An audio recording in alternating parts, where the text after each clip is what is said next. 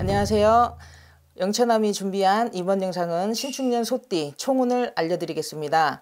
어, 소띠 같은 경우는 어, 일복이 많다 보니까 좀 바삐 움직이고 좀 힘이 드시는 분들이 많죠. 그리고 어, 가정의 모든 그거를 힘을 다 써야 되기 때문에 더 아마 힘든 경향도 없지 않아 있습니다. 그 대신에 돈복은 어, 많습니다. 뭐 이제 본인이 활동을 하고 여기저기 움직이다 보니 돈은 떨어지지가 않아요. 그래서 뭐 열심히 일한 만큼 소득은 있으니 어, 매해사 하실 적에 해, 어, 행사를 하실 적에 뭐 여기저기 다니실 적에 어, 열심히 하시길 바라겠습니다. 아, 이제부터 나이별로 제가 어, 일러드리겠습니다. 올해 상반기 운세 어, 일러드릴게요. 어, 25세는 어, 올해는 초반 상반기에는 마음이 조금 붕 떠서 여기저기 마음 둘 데가 없다 그렇게 나와요. 제가 볼 때는 그렇기 때문에 이 연인하고도 좀 사이가 조금 안 좋을 수도 있고 그래서 헤어지는 부분도 조금 많이 있으실 거예요. 그렇기 때문에 좀 마음은 뭐 잘 잡으셔야 어, 하반기에 내가 이제 하고자 하는 모든 일이 조금 잘 풀린다고 그렇게 보시면 될 것 같고요. 어, 37세 어, 올해는 사고수를 조심하라 이렇게 나와요. 어, 쉽게 집에 있는데 갑자기 전화가 왔어. 안 나가시는 게 좋아요. 갑자기 그렇게 나가시면 사고수, 어, 뭐 내가 불미스러운 시비거리도 생길 수 있고요. 그리고 사고수가 생길 수 있으니 조금 챙기시는 게 좋다는 얘기예요.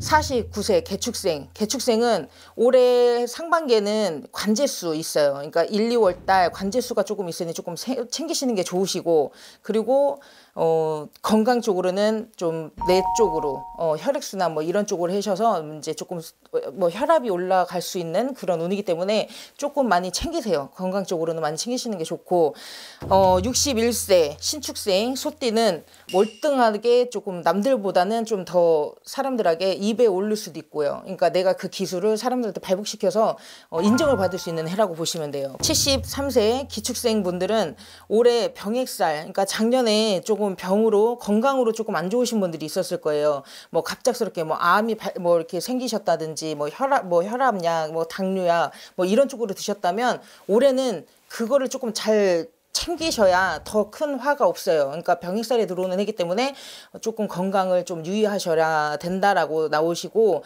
뭐 금전적인 거는 그냥 평범하다 그냥 보통적인 그 금전 운은 있다 이렇게 나오거든요. 그렇기 때문에 건강은 조금 챙기시는 게 좋습니다. 49세들 이제 소띠분들 같은 경우는 뭐 금전적인 거는 괜찮아요. 괜찮지만 사람을 조금 챙기셔야 되겠죠. 그러니까 내가 쓰지 말아야 될 뭐 계약서나 이런 거 보시 하실 적에 문서 쓰실 적에 그 문서 내용을 조금 잘 읽고 계약을 하시는 게 좋겠죠. 그거 말고는 올해는 그냥 뭐 승승장구 뭐 그냥 내가 하고 싶은 거 다 할 수 있고 내가 원하는 거를 다 원할 수 있다라는 그런 해가 있어요. 그러니까 아웃스마다 다 그렇진 않아요. 그러니까 보편적으로 어 제가 볼 때는 그 아 웃스라고 해도 뭐 큰일 나거나 뭐 안 좋거나 그렇진 않다는 얘기예요. 그러니까 인간으로 관한 문제는 안 만드시는 게 좋을 거예요. 그러니까 49세 개축생들은 괜찮습니다. 올해. 37세 분들은 을축생 소띠 분들은 성주운이 들어오는 해지만요. 어, 쉽게 요즘에는 어, 결혼을 늦게 하는 부분이 많아요. 그렇기 때문에 가정이 없는데 성주를 뭐 할 필요는 없다라고 저는 생각을 하거든요.